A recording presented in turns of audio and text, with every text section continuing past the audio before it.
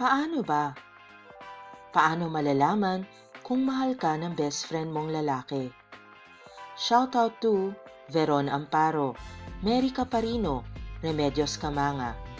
Please like this video and subscribe to the Paano Ba channel for more Tagalog how-to videos. For topic requests and shoutout requests, please like this video, subscribe, and leave a comment down below. Let's start the video. Sign number 1. Meron siyang espesyal na puwang para sa'yo. Kung tila iba ang pakikitungo niya sa'yo kumpara sa ibang tao, palatandaan ito na posibleng mahal ka na niya. mag -e effort siya para gawin ang mga bagay na kailangan mo o minsan naman ay siya na mismo ang mag-aalok na tulungan ka. Hindi ka rin niya inaasar tulad ng pang-aasar niya sa mga kaibigan niyo at lagi siyang nandyan para sa'yo. Kapag nagka-problema ka o umiiyak ka, eh maski hating gabi, pupuntahan ka niya. Kinabukasan sa eskwelahan o sa inyong trabaho, eh may dala siyang pasalubong para sa'yo. Hindi normal na kaibigang babae ang trato niya sa'yo. Sobra-sobra pa doon at minsan nga ay natutukso na kayo na kayo na ba o nangliligaw na ba siya. Sign number one, mayroon siyang espesyal na puwang para sa'yo. Maski na may girlfriend siya o meron siyang gustong ibang babae, eh para bang mas importante ka pa rin sa kanya. Posibleng mahal ka na niya, hindi niya lang alam. Sign number 2, protective siya sa'yo. Kapag mahal ng isang lalaki ang isang babae, may tendency na maging protective siya rito. Maaaring makita mo ito sa kung paano niya protektahan sa isang taong hindi mo gusto o kaya naman ay handa siyang kumprontahin ang isang taong text ng text sa'yo. Baka nga mag-offer siya na magkunwaring boyfriend mo para lang maalis ang mga nakakabwisit na mangliligaw mo. Maaaring ginagawa niya ito dahil best friend mo siya. Ngunit, kung handa siyang ilagay ang sarili niya sa alanganin para sa'yo, ibang usapan na yon. Kung willing siya kunyari na ipagtanggol ka sa pamamagitan ng panununtok sa ibang lalaki o di kaya ay uh, habang tumatawid kayo, doon siya sa side kung saan marami yung kotse. Ibig sabihin nun, malalim ang pag-care niya sa'yo. Sign number two, protective siya sa'yo. Minsan nga, sobrang protective niya na feeling niya kailangan dumaan sa kanya ang lahat ng mangliligaw mo. Baka hindi niya lang alam, pero nagsiselos talaga siya deep inside, kaya niya ginagawa ito. Sign number 3, gusto niyang pisikal na mapalapit sa'yo. Kung mahal ka na niya, gagawa siya ng paraan upang pisikal na mas mapalapit sa'yo. May mga pagkakataon na papwesto siya malapit sa iyo at inosenteng dadampi ang kanyang mga kamay sa balat mo kapag nag-uusap kayo. Bahagi ito ng body language niya upang iparamdam sa iyo ang hindi niya kayang sabihin o baka hindi niya kayang aminin sa sarili niya. Sign number 3, gusto niyang pisikal na mapalapit sa iyo at yung pagkakalapit niya ay malambing hindi yung tipong harutan. Sign number 4. Napupuna ng ibang tao sa paligid nyo na tila may nangyayaring iba sa inyong dalawa. Minsan, hindi agad nahalata ang totoong nangyayari ng dalawang mag-best friend. Ngunit maaari itong makita ng ibang tao tulad ng ibang mga kaibigan ninyong dalawa.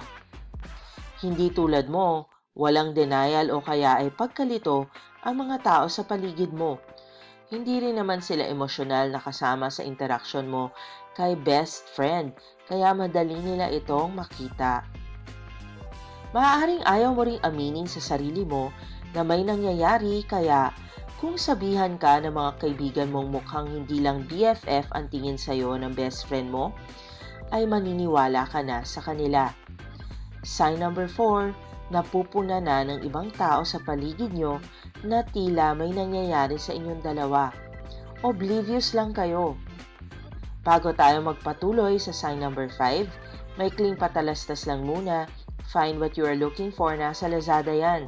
Get free shipping vouchers and 100 pesos off on your first order when you shop using the link in our video description box. Let's continue to step number 5. Sign number 5. Importante sa kanya ang mga kailangan mo. Mapapansin mong dedicated siya upang ibigay ang mga bagay na kailangan mo dahil inuuna niya ang mga ito.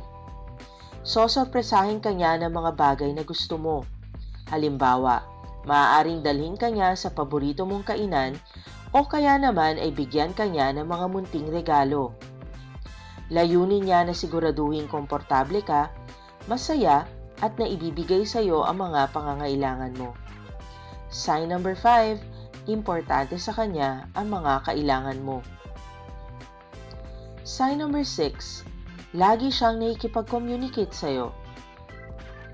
Normal lamang sa magkaibigan ang nagpapadala ng text message sa isa't isa. Ngunit kung lagi siyang gumagawa ng paraan at nauunang mag-text sa iyo, tulad ng good morning o good night. Malamang ay lihim ka na niyang minamahal dahil hindi yan gawain ng magkaibigan lamang. Palagi niyang pinapaalam sa iyo ang mga bagay na nangyayari sa kanya at hindi mo na matandaan ang huling beses na hindi ka nakarinig mula sa kanya. Parang hindi kumpleto ang araw mo kung hindi kayo nagkausap o nagka-text. Sign number 6, lagi siyang nakikipag-communicate sa iyo. Sign number 7.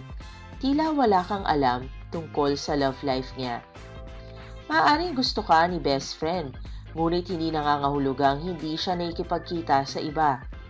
Hindi mo naman maaaring i-expect na titigil na lahat para sa kanya dahil lamang hinihintay ka niya. Maaaring gusto niyang kalimutan ang nararamdaman niya para sa iyo dahil nga best friend kayo at baka masira ang friendship ninyo. Ayaw niya ring sabihin sa iyo ang totoong estado ng love life niya dahil umaasa siya na baka pwedeng maging kayo balang araw. Pinili rin niya maging single dahil intense ang nararamdaman niya sa iyo at naniniwala siyang darating ang panahon na masusuklian ito. Posibleng naiinis din siya kapag may nangliligaw sa iyo kasi nga sa loob-loob niya ay nagdadasal siya na sana kayong dalawa na lang Natatakot lang siyang umamin dahil baka i-reject mo siya. Sign number 7. Tila wala kang alam tungkol sa love life niya. Sign number 8. Nagdududa ka sa totoong nararamdaman niya. Marahil ay napanood mo na ito sa isang pelikula. Yung tipong nag-uusap lang kayo, tapos parang tumigil bigla ang mundo. Hindi mo alam kung ano ito, ngunit alam mo na may kakaiba sa mga tingin niya at sa pakikipag-usap niya sa'yo.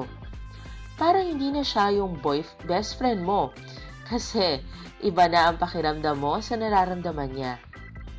Kung may kutob ka na na mahal ka na ng best friend mo, malaki ang tsansa na tama ka. Hindi niya kailangan sabihin at hindi mo rin kailangang tanungin. Walang nangyayari pero alam mong meron talaga hindi nyo lang maamin. Sign number 8, nagdududa ka sa totoong nararamdaman niya. Kung meron ka ring lihim na pagtingin sa best friend mo o sa kaibigan mo, subukan mo kayang mm, pabirong tanungin. Sabihin mo, kunyari, para lagi na lang tayo tinutukso ng ibang tao sa isa't isa. May gusto ka ba sa akin? Tingnan mo lang kung ano magiging reaksyon niya. O di kaya tanungin mo siya kung wala pa rin kayong boyfriend o girlfriend pagdating ng 30 anyos, eh baka naman pwedeng mag-date na kayong dalawa. Tingnan mo lang kung ano magiging reaksyon niya. Kapag umoo siya o kapag naging interesado siya, eh ibig sabihin, malamang may lihim na pagtingin talaga sa'yo ang iyong boyfriend. Kapag naman sinabi niya na kaibigan lang o kapatid ang tingin niya sa'yo, ayun na, Mahal ka niya pero ibang pagmamahal ang tingin niya sa'yo. Maraming salamat sa pagnood. Shout out to Miss Sherilyn Umalay. Thank you for your monthly support to our channel. Please like this video and subscribe to the Paano Ba Tagalog How To channel for more Tagalog How To videos. Please like our Facebook page, facebook.com slash paano ba channel, and also support our business page, facebook.com slash Pasig Franchise. Paki-download rin po ang TokTok na app at gamitin ang aking referral code, PPS 125-04952. Malaking tulong po ito para sa ating channel at makakamura rin kayo sa delivery fees compared kay Grab at kay Lalamove. Tandaan din po natin ang Xiaomi, napakaganda po ng items nila at murang-mura. Please visit the link in our video description box kung gusto nyo mag-shopping. Maraming salamat sa pagnood. For topic requests and video requests or shoutout requests, please like this video, subscribe, and leave a comment down below. Maraming salamat and see you in our future videos.